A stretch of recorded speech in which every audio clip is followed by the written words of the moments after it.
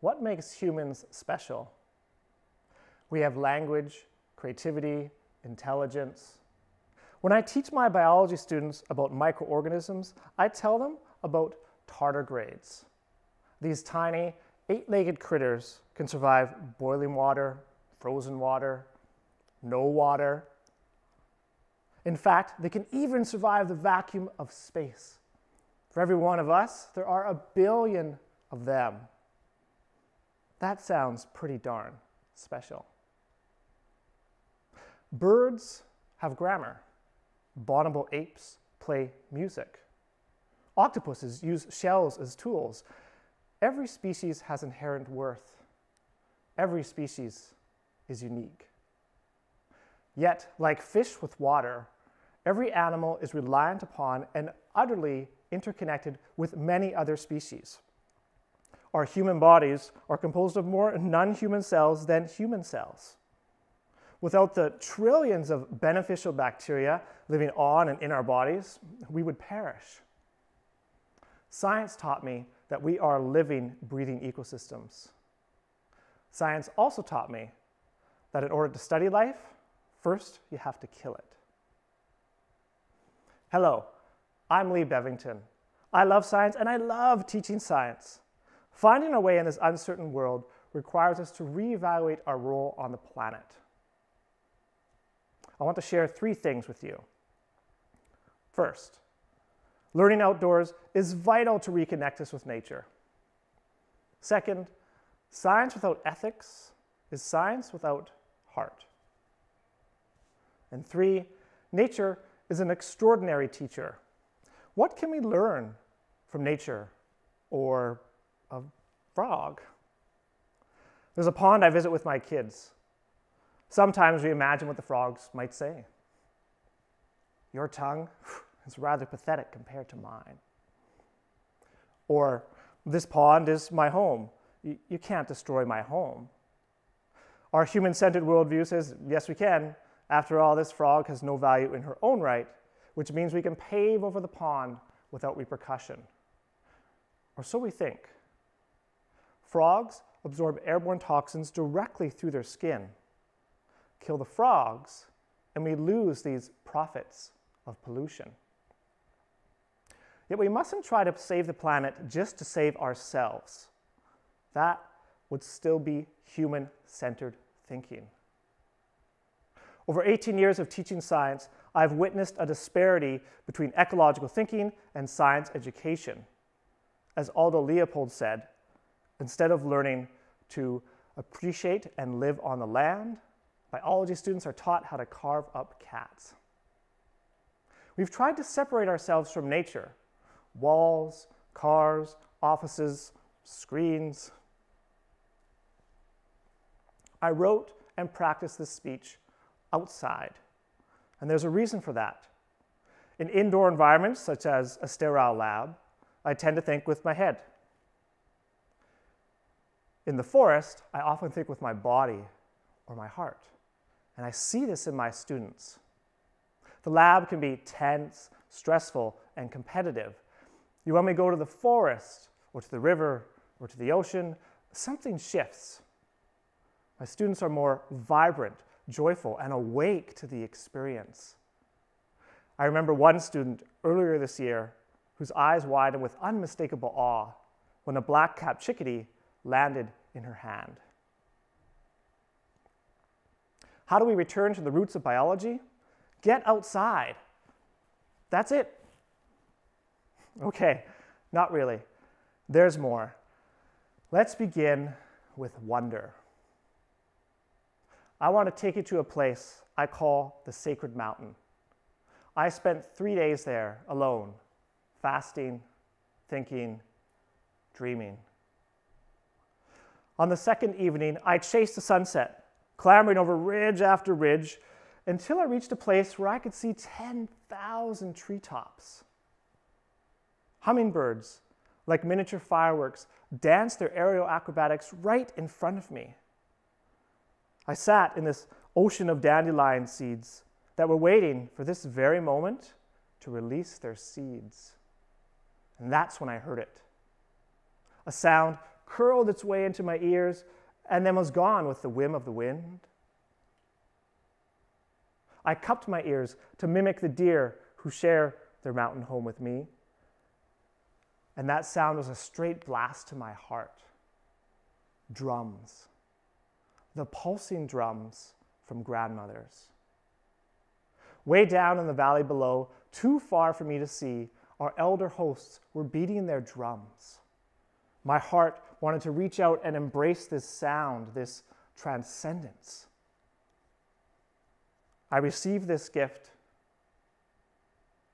picked a dandelion, and blew. The seeds drifted down, greeted by the vibrations below. And in that meeting of seed and sound, I sat transfixed. And it suddenly hit me. I wasn't alone at all. My teachers were all around me the mountain, the trees, the dandelion. This is what science is all about wonder. Experiencing and appreciating nature's wonders brings us closer to the idea of all life being sacred. Many indigenous cultures teach us this. Our children teach us this. My son went to forest preschool. On the wettest day of the year, I dropped him off, and another dad and I went to a cafe. A few hours later, we get up to go, and I notice that it's still really raining outside. So I search in vain for something to cover my head as I walk to the car, which is 10 feet away. Meanwhile, my son, outside this whole time, had been having the time of his life. Kids know how to turn a puddle into a wondrous science experiment. Let's jump from this preschool puddle to the post secondary ocean. I have a friend who studied honors biology. For her research, she didn't want to kill any animals. The first supervisor she approached turned her down. Her compassion and wonder were a liability. Years later, during her PhD, she was placing these special tiles into the ocean to collect fish eggs. And this beautiful octopus befriended her. One day, she spotted the octopus reaching an arm down under a tile and treating himself to a meal. And then she discovered that the octopus had eaten every single fish egg in her experiment. Remarkably, she doesn't resent that octopus for ending her scientific career. Rather, she thanks the octopus for helping her realize that only when she left science could she fully embrace her love of the natural world. She now works in creative science communication and nature connection. This is her painting. How many biologists to be leave science because they don't want to kill life? In fact, this almost happened to me more than once. During my undergrad, I refused to do dissections, and I was told to consider another career. I continued my studies, protesting in silence, but I've come to realize that social justice is not accomplished by keeping quiet. We have to speak out loud and clear, especially for those who have no voice, or rather, whose voices we ignore or pretend don't matter, like the animals in a science lab. For dissections, we used to cut the vocal cords of living animals so that they couldn't scream. But to understand and care for the other than human members of our community, we need to hear their, their voices. A study led by Katie Taylor estimates that every year 115 million vertebrate animals are used in scientific research. Vertebrates are animals with backbones mice, birds, chimpanzees. A scientist can effectively sign off a form that allows the collective science community to use and often inflict suffering upon and kill 115 million animals a year. This is a conservative estimate because some animals aren't deemed worthy of being reported because they're not human enough. At this juncture, someone might point out that factory farms kill even more animals for food. 99% of meat production in the United States, according to the Sentience Institute, occurs in factory farms. And it's true, more animals are killed for food than for science, but does this make either right? This raises another point. We are arbitrary in our treatment of species. One is kept in our home as a member of the family. Another is kept in a tiny cage until we kill them for food or for science. Imagine your dog being raised for meat. Imagine your cat being dissected. Probably doesn't feel very good. Imagine how it feels for the dogs that are raised for meat, for the cats that do get dissected. At 19, my mother visited a slaughterhouse and promptly became vegetarian. Scientists use the byproducts of slaughterhouses, including something called FBS. FBS stands for fetal bovine serum. And I'd like to see a show of hands from the audience. Who has heard of fetal bovine serum?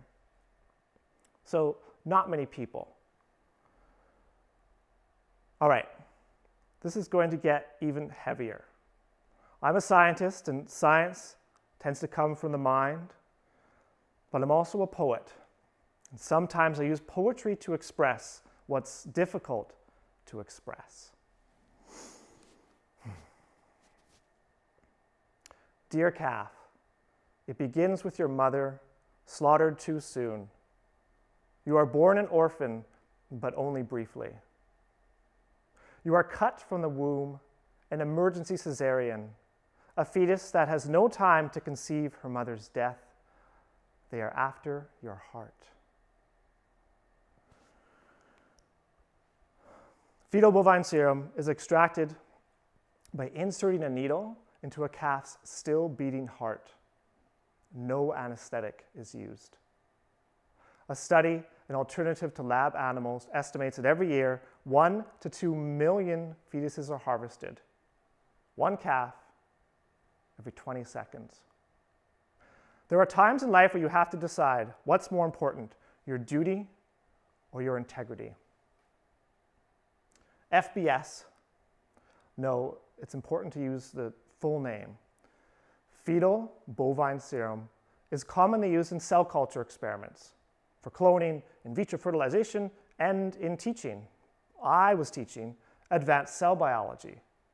When I opened the fridge in the lab, and I saw that tray of fat blue cap vials, I felt my heart stop. I picked up a vial and I pondered the journey this serum had taken. The mother cow in the slaughterhouse, her uterus cut out and slid down a stainless steel chute. The worker who extracted the medium, the company that paid for it, the instructor that requested it for this lab, the lab technician that ordered it, and now the lab instructor who's about to give this to his students. That instructor was me. We were all caught in a system that said that this calf's life was less important than this learning experience. What does that teach our students? This was the moment where I had to decide. I felt sick to, the, to my stomach. An overwhelming sadness came over me. Things you're not supposed to feel in a science lab. I felt complicit in this chain of suffering.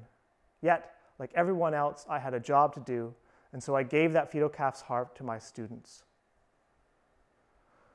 So, what does this have to do with learning outdoors?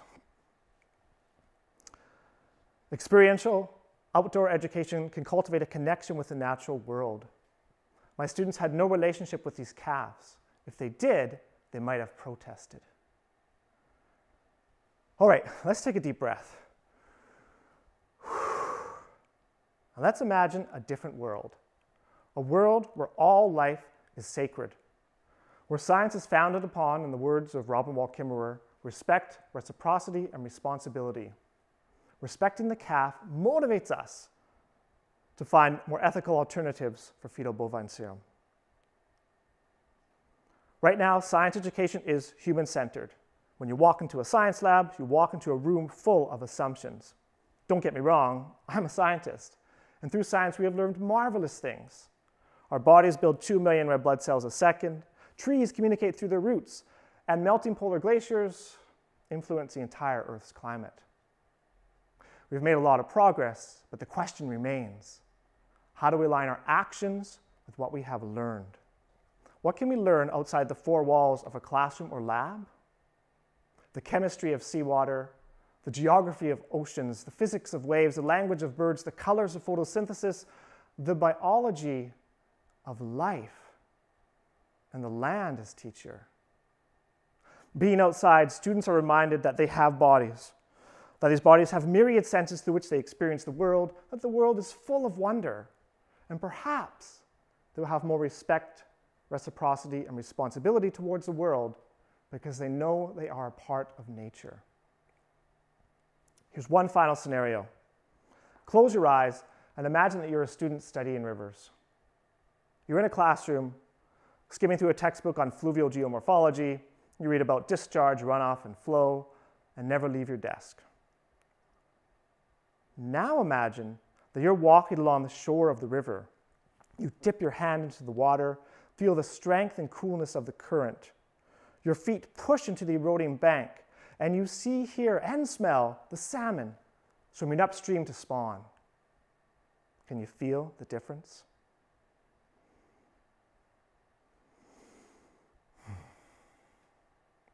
Nearly any subject can be taught outside. Nature is a teacher with infinite wisdom. Trees not only remove carbon dioxide from the air, they gift us with oxygen, food, climbing branches, medicine, soil stabilization, tools, and shelter. I imagine a way of being in the world that honors the land we walk, the water we drink, and the air we breathe. So get outside. Witness the flight of dandelion seeds. Walk with the rivers and hear the voices of the earth. Humanity is in crisis. If we want to survive and address the origins of climate change and the COVID 19 pandemic, we need to acknowledge and respect all that is not human, to teach learners of all ages not to be citizens of science or the economy, but citizens of the planet. So, what makes humans special? As a species, we can eradicate entire ecosystems. We also have the power to save those ecosystems. Let's start with an educational model that allows our students to experience the world with compassion and wonder.